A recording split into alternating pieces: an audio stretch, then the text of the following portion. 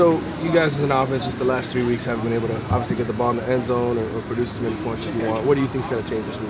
Uh, everybody's been, you know, fighting, fighting hard for spots, and everything now is, is we got to rev it up, and we we know that we have a bigger goal, so we got to turn the ship around real fast.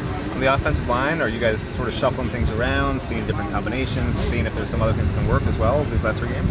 Yeah, yeah, we all like I said, it's all it's a competition within, within, and you know when we go out and play, so all of us is just fighting, fighting, fighting hard. Sorry, how, how important is, is qualifying for a bowl game? Still haven't done that.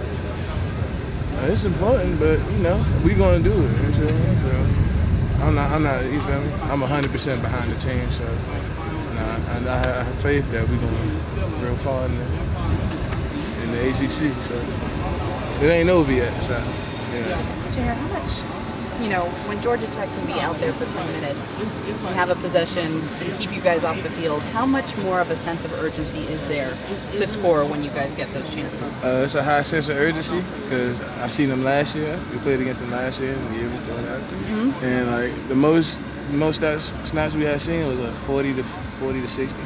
And normally we have 70 to 80 snaps. So, So how frustrating is that for you guys as an offense? You It's just pretty- sit there it's- and watch and, and wait your turn. It's pretty frustrating, but that's their offense. You can't really can't knock it. That's what they do. Uh,